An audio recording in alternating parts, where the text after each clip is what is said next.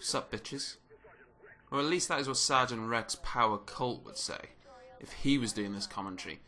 Which, of course, he is not. You are instead stuck with me, despite the fact that he's clearly far funnier, and he's ruggedly handsome to boot, despite his robo enhancements. Now, if you didn't know, he is the hero of Far Cry 3 Blood Dragon. That's what we're playing right now. So, what is this nonsense? Well, Far Cry 3 Blood Dragon is a game using the Far Cry 3 base game to make a game that is basically so outlandish and retro and just really doesn't give a shit about itself, which makes for a really, really good time. Here is the first 15 minutes of the game, which as you can see, it's it's like playing Duke Nukem whilst being in an 80s disco. You know, retro theme doesn't quite do the game justice, but that is of course very accurate. Now, I don't know how true this is, but I was told, or I read somewhere, that this game actually started out as an April Fool's joke, and it kind of stemmed from there.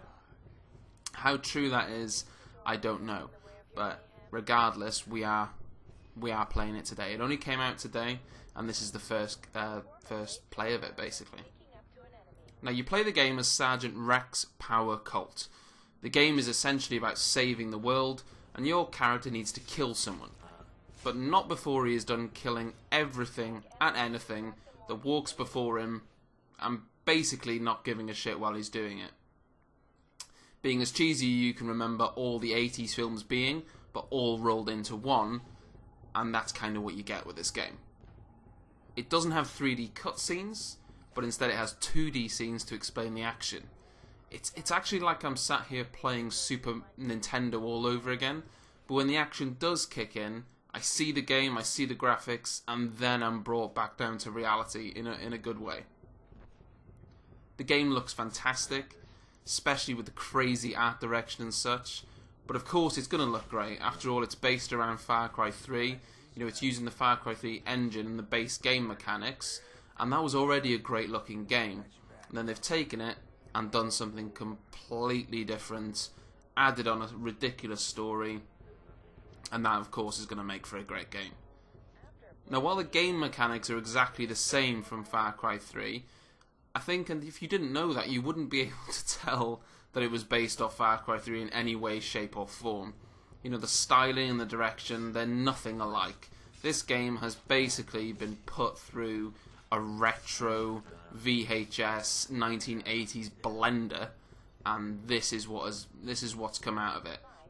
Now this section here actually had me in stitches on the video. It's so simple, but it it made me laugh.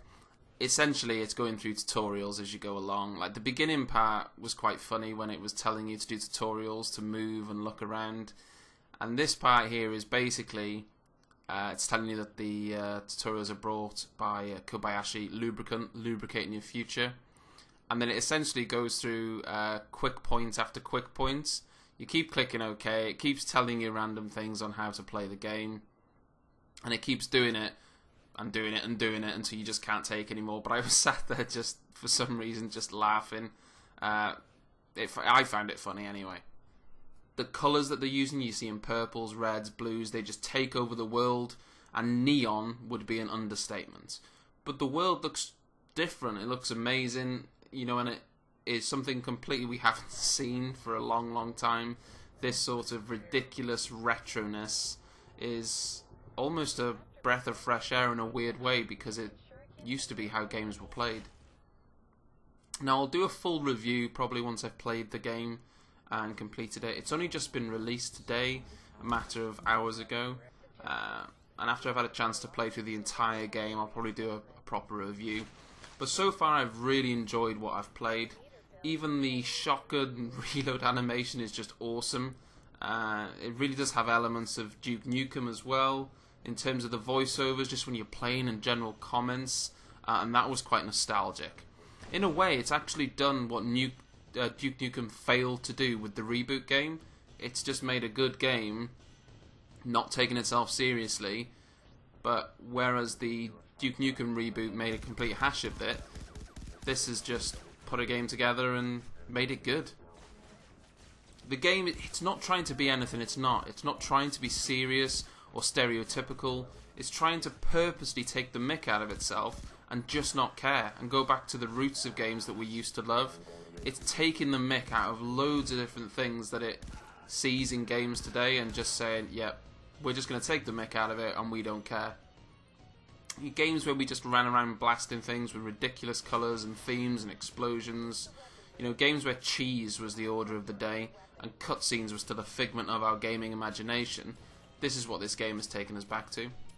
Now, the game is set in the future after uh, post-apocalyptic nuclear events.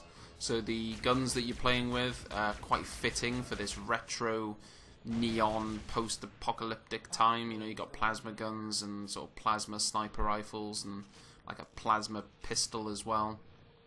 And I'm not entirely sure what it means, but when you kill somebody, you can uh, essentially take their heart. Not quite sure what that's all about.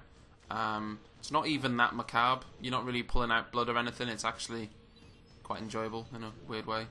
Dare I say that? Uh, but the gunplay is pretty solid from what I've played. You know, the, the gunplay and the mechanics are going to be very similar from Far Cry 3. I mean, if you take the base game that already works and then just keep that element but change the story and the setting, there's not really a massive amount that can go wrong with it. If you've already got good game mechanics and good gunplay, then there's no real need to change it. But by not changing it, they've still, you know, it, it doesn't feel stale because you've got completely different weapons in a completely different setting, so the game feels very, very different from Far Cry 3, while still feeling similar. Um, so they haven't needed to change it too much, but it's changed plenty that you don't really notice it from Far Cry 3. So should you get it? Well, yeah. Why not? It isn't a full price game. Uh, it's only £11.99 UK uh, UK pounds, so I'd imagine that's roughly $20. My amazing mathematics skills are probably incorrect. I don't really know the exact exchange rate, but I'd imagine it'd be in the region of $20 ish. And it's well worth a pickup. You know, for that sort of price. You know, this isn't like a, a full game release, if that makes sense. This isn't a full fledged game. It's more of a smaller cut down game, uh, hence the price bracket you should definitely pick it up. Uh, as I say, I'll give a full review probably in maybe three or four days' time after I've played the game completely. But what I've played so far is just a fun, not taking itself too seriously, and that's just what makes it so chilled out and relaxing to play and funny to play. So I'll let you guys enjoy the rest of the video. Uh, I won't talk over any more of it. Just watch the last sort of eight minutes of game footage, seven or eight minutes, and I will catch you on the next one.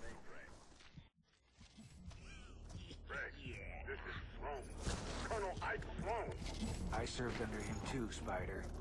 No way he went rogue. Not him. Ready to put a bullet in the big man? Let's just get to the mainframe and figure out what the hell is going on. Who's the shit? Eliminate all Omega Force soldiers while protecting Spider. It's Omega Force, all right. Reminder, after a blade takedown, you can chain kill nearby getting out devices built.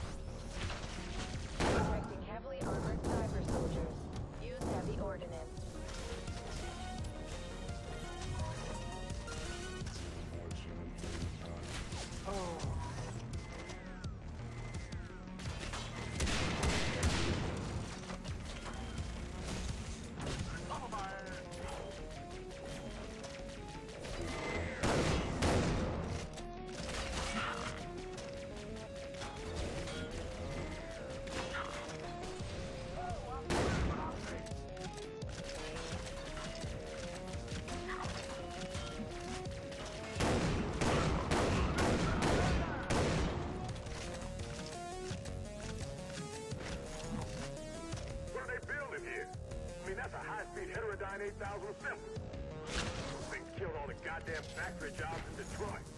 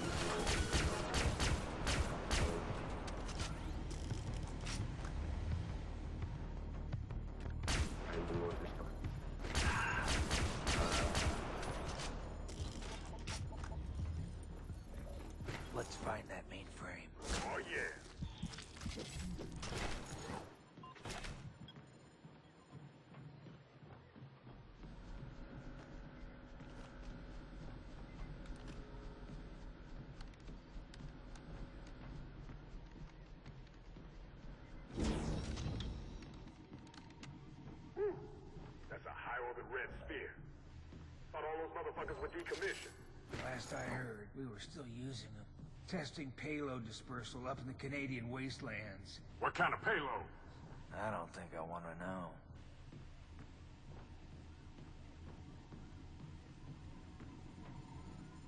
Objective complete. Mainframe located.